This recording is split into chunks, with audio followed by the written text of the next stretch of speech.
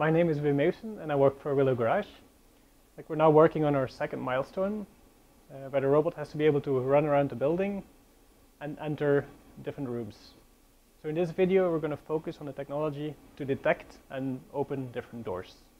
For the detection of the door, we use a tilting laser scanner to acquire a point cloud of the door. First, we use the geometry to detect the door plane.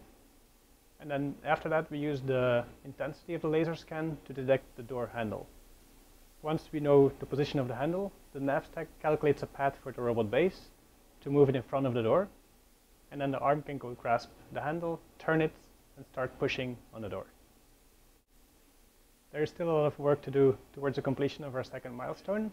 The robot has to be able to completely autonomously go through the door. We have to push and pull doors open and we have to integrate everything with a high-level executive.